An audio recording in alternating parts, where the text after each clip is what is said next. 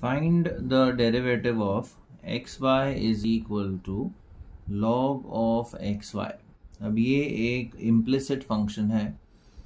तो सबसे पहले तो हम राइट हैंड साइड पर लॉग का रूल अप्लाई करेंगे। Log of x into y is log x plus log y so we have x into y is equal to log of x plus log of y. And now we differentiate with respect to x. अब left hand side में तो product rule आएगा. So we have x into derivative of y plus y into derivative of x which is one right hand side पर log x का derivative ये होता है one by x plus log y का derivative will be one by y into d y by d x अब d y by d x terms को हम एक तरफ़ ट्रांसफ़र कर देते हैं।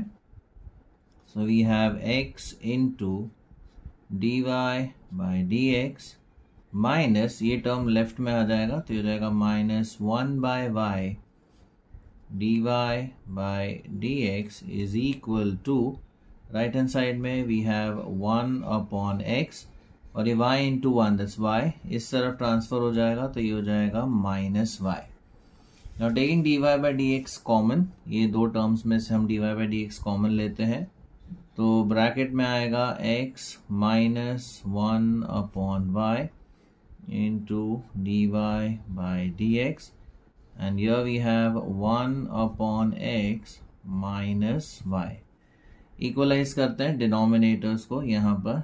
So we have x y minus one upon y into d y by d x right hand side पर we'll have 1 minus xy upon x.